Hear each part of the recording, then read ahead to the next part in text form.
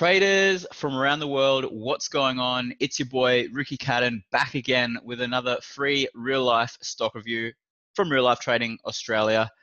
Want to give a big shout out to everyone who has joined for the free week. We're absolutely thrilled to have you there. And if you haven't joined already, hop on over to reallifetrading.com. I'll leave a link in the description below and get there ASAP. We are making money in the markets, guys, and there is just some absolute killer analysis in the afternoon room as well. If you want to learn, here's your opportunity to learn for a whole week for free. There's only three more days left in the week, and we only do this twice a year. So if you're not there, get there tomorrow. It's going to be amazing. Let's talk about the markets. SPY, beautiful, beautiful retest gap today. Um, and we did actually retest and played that in the morning room. So if we just take a look at the five minute, at the start of the day, before the market open, Jeremy did say that SPY will most likely have a super bullish day or it's just going to fade immediately. And as you can see, as soon as this support kind of got broken from pre-market. We just broke down, retested, and then went lower. And right here is where we got in bearish with a stop right here. So if you did get to play that and take advantage of that move in the morning room, well done to you fine folks. It was awesome. Uh, if you take a look at the daily, where I think the market is going to be headed, um, I'll just draw some quick fib lines here oh, sorry. Uh, right here. So this I have I have said this last week. My target still is around 305.20 um, before we do see some sort of pullback. So I am expecting something like this to occur. Um, but yeah, keep your eyes out on SPY for a little bit more of a bullish push, and then get ready to buy the dip. Here's the DIA, the Dow Jones, and just looking absolutely glorious at the moment. Beautiful gap and go, oops, beautiful gap and go today, and a beautiful gap fill and retest. So this one will most likely trade higher and create some new all-time highs this week. Here's the IWM, kind of just chilling, but this is a beautiful hammer of Thor right at the 100 simple moving average on the daily. So I do expect, we are getting increasing volume, so I do expect IW, IWM to start to break out a little bit higher. Uh, took a trade on Beyond Meat. There's a lot of people playing Beyond as it was super, super bullish the last couple of weeks. And in the afternoon room, Jeremy has been speaking about pretty much back here, like, you know, just buy a couple of shares, don't, you know, mitigate your risk, but this could go back to 200, and that's exactly what it did. Um, so Beyond Meat, personally, I took a short on this last night. Take a look at the five minute, and here's how I played it. Um, right here, got in short, stop way up here, and was just trailing my stop very, very slowly, and then ended up getting trailed out right here for about 0.5 R. Could have left it all day to, to create more gains, but being here in Australia, did want to go to sleep. So um, that's all good. So Beyond Meat is getting pretty extended up here. It might retest and go a little bit lower. We'll, we'll, we'll see. Um, we are getting a little bit of well, a bit, little bit of well away from the the 10 EMA on the daily. But from here, guys, a lot of selling happening up here as this is a previous resistance level, and this is a, a nice upper wick. So I'm definitely not buying up here, that's for sure. So Beyond Meat, um, look to buy the dip or just be cautious if you are shorting because there are short squeezes happening as you can see right here. Look at this volume. Wow. Uh, okay, let's take a look at Netflix. And Netflix, gorgeous, gorgeous inside day candle. Um, this is going to be one to look out for. Now, most likely, I have this line drawn at 302.31 as a support, and we have not yet filled this gap right here. Um, so, personally, I do want to buy Netflix long term. I do think uh, we will end up going higher, but I am just trying to buy as low as possible. So we'll see how this candle plays out as it, as it is an inside day candle. Um, if we gap down and break, uh, if we gap down, we'll probably I'll probably trade it lower. And uh, if we have another cute little inside day, I'll just leave it. But um, if we gap up, this will be a nice little, nice little day trade to take for a short-term bullish trade. Uh, but Netflix, looking absolutely amazing. If we take a look at the long term moving averages, we are still well away. And on the weekly chart, we're right at the 100. So just, yeah, I mean, we have bounced off here before, guys. It is a nice place to go long. Um, so just keep your eyes on Netflix. We probably will break this 100 um, a little bit uh, just to kind of trap a few uh, trap a few bears and then most likely will trade higher. So look for some lower wicks. That's that's personally what I'm looking for. Some really nice lower wicks. Get some people trapped, and then I'll look to take this thing bullish. Here's Shopify, and I did mention last week we have got earnings right around the corner, and we are at a resistance level. Me personally, not taking things, taking Shopify bullish. I will be looking to purchase something that rhymes with put options um, up at this level. More so as a, as, as a small speculation, not going to um, load up on put options here as I am I am actually personally bullish on Shopify, but I'm definitely not going to be buying up here at these levels. I did say back here, um, right here, that most likely we are going to chop around sideways here for a little while. Um, I do I would love to buy off the off the 100, but if we could get if we could go lower, that'll be even better.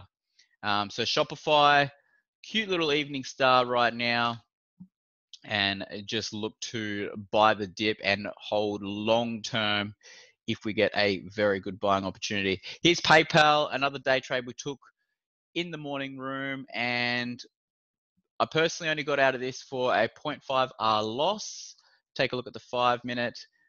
Uh, this is how we played it. It was, and I had our entry right here with a sorry with, with, a stop just below. It was actually my stop was way down here, and I as we started breaking down, I did get to trail out for a one uh, 0.5 R loss, so that was okay.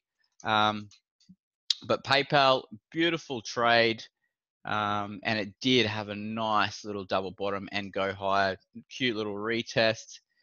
Wow. I kind of wish I hung around for a little bit longer. There is a beautiful little morning star. Anyway, PayPal, great gap, and long term, most likely will create some new all time highs. Here's Coca Cola. Gorgeous gap and go today over earnings. Um, this one pretty much just ran straight out the gate. If you take a look at the sorry, if you take a look at the five minute, you had to be you had to pretty much go bullish straight away. Um, yeah, I mean, you take a look at the three minute here. We did have a cute little retest. I missed it um, because I was in PayPal, but it did break out have this cute little retest of the pre-market high and did continue higher. So, Coke, if anyone did take Coca-Cola bullish, uh, well done to you guys. Right here, we are at all-time highs again, so I'm not going to be um, buying up here. So I'll just look to buy the dip, and yeah, that's Coke. And this AutoNation ticker symbol AN was probably the gap of the day. This was on our list in the morning room, and you really had to take this on the one minute.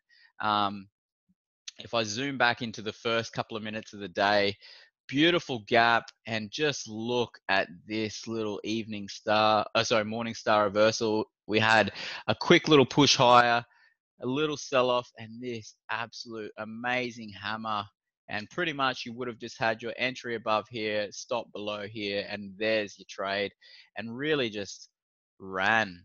Um, AutoNation, Spion, I missed that one, but was a great trade if you did get to take it. So well done for those who played AutoNation. Brilliant trade. Here's Apple. Haven't looked at this one for a while, and Apple's just been doing what Apple does, going bullish. Um, cute little retest gap, and we did retest today and go higher. Looking at the five minute, there's your retest right there. Nice little double bottom. Cute little re, cute little retest and traded higher. Um, Apple right now, be bullish, hold long term. Um, we are coming back up into this high right here at 212 and from there most likely we will trade up and then have another dip buying opportunity before we do go higher. So keep your eyes peeled for a quick little bearish trade on apple in the next coming weeks probably the next week and a half two weeks and then look to buy the dip around 200 again as we come back down Here's the All Ords, and we are so close, guys, to creating some new all-time highs. All-time high being 6873.2, and the high of today's was 6869.7. So most likely we probably will create a new all-time high tomorrow, and that is absolutely incredible. We have been talking about this going bullish for some time now. And if you just take a look at the short term moving averages, this was literally an absolute beautiful little double bottom straight off the 20 and just absolutely went higher. So, All Ords, stay bullish on the markets, guys. Everything does look amazing. CBA, uh, this is most likely going to consolidate here for a while. I have been saying that for a while. Most likely look for something like that.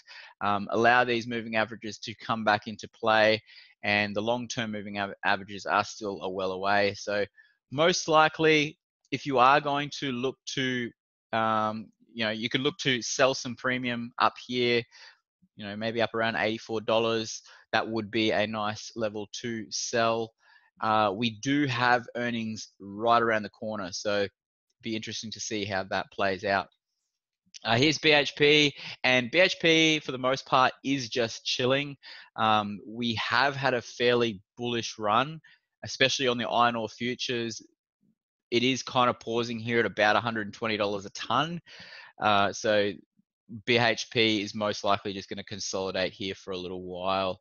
Um, so if you're in bullish on BHP or if you've got long-term shares, just look to sell some covered calls, sell some premium up here, maybe 42 or 43 dollars. Uh, that looks really, really nice. Here's Uniti Wireless, ticker symbol UWL, and I haven't really spoke about this since back here. Um, I said that most likely we will roll over, and a good level to buy would be off the 100, which was back down here, I think uh, well, about, about here. Yeah, so most likely the 100 will come into play. Um, Uniti Wireless, we did sell off, so I'm hoping that nobody went in bullish up here right at the top of the market. That would have been a little bit silly, but um, yeah, we are pulling back a little bit today. So most likely, I am looking for a little bit more of a sell-off, maybe create some lower lows, get some bears trapped, and then you know 100 will come into play. And hopefully go bullish. So Uniti Wireless looking really, really nice long term for a dip buying opportunity. Here's Elixinol Global. Uh, this is a cannabis stock here in Australia, and pretty much for the most part, most of the the, the cannabis companies are pulling back and pretty much just consolidating sideways. And I did really mention that probably back at the end of May or the start of June that most likely we will start to see a lot of sideways movement here and a little bit more of a consolidation. Um, and that's pretty much what's happening with EXL here as well. A good level to buy would be around uh, would be around you know 364 or maybe even off the, the 200 on the daily. And if we just bring up the short term moving averages on the weekly, you could Yes, I mean, if it came back down to the 50 on the on the weekly chart, that also would be a really nice buying location for EXL. So keep your eyes on a dip buying opportunity. Um, it does look good long term. Love the trend. We did have a beautiful you know, one, two, three, four, five wave, and then here's your ABC correction. So is this going to be the start of the next, you know, Elliott wave, five wave count? Who knows? Um, but I will definitely keep you guys posted and keep an eye on things on Elixinol Global. Here's APX, and pretty much APX just being absolutely bullish. Long-term moving averages bullish, and pretty much so most likely we will end up coming back down to this level to fill this gap at some point. I don't know when. Um, we have had a fairly bullish run. If we just take a look here from the start of the year, we are up over 165%. So a lot of people profitable, and we really haven't had a massive pullback at all. So, I mean, at some point, at some point this will pull back some and that will definitely be a dip buying opportunity if we could come all the way back down to the if we could come all the way back down to the 200 that would be an absolutely amazing buy just like we did right here so apx still looks bullish but realistically you want to be taking profits if you are in right now let's take a look at the commodities and here's gold. Um, I posted up in the real life trading Slack channel on my uh, my analysis on gold. I mentioned last week I am looking for um, a retest of this little wedge to take bullish, and I am currently in bullish on gold. So gold, this is a dip buying opportunity. I do think we will go higher. Um, just keep your eyes peeled. If you're not in, obviously, um, yeah, obviously stay long in the markets. Um, sorry about that. Uh, US oil or crude oil uh, have been taking a couple of short-term trades on at, at, at, this point in time because I am fairly neutral. I'm just looking to buy low, sell high at this point. Uh, the last few days, I have looking, I have been looking just to buy here. I bought here and I bought here, just for some short-term trades. And um, I still am fairly neutral. I wouldn't mind if we had a little bit more of a sell-off on oil. That would, to me, be a way better buying opportunity if we could buy back down here. Um, but I'll definitely keep an eye on things on that one on oil. So US oil still bullish to neutral, um, but short term, if we can get a small little dip buy back down here at $50, that would be absolutely incredible. And here's the Aussie dollar and just missed this short trade right here. I have been speaking about this for a while that most likely will come back up to the 200 on the daily. And I pretty much just missed it. If you take a look on the 15 minute, it was just an absolute amazing little double top right here and then a break and retest. So that's where I would have got in with a stop way up here. And this would have been a beautiful four or five hour trade. Um, but all in all, short term, uh, sorry, I am a little bit bearish on the Aussie dollar at the moment. Um, but obviously, I will look to go long if we come back down to these lows. But for now, I'll just keep an eye on things and stay out of it. Anyway, guys, that's all I've got for you today. I'll be back on Thursday with another real life stock review. And if you're in the morning room, I will see everyone there for the free week. And until Thursday, love life, live life, and trade it. Have a great next couple of days. Bye.